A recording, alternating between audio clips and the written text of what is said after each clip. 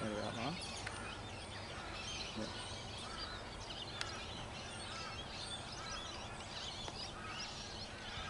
Not that way.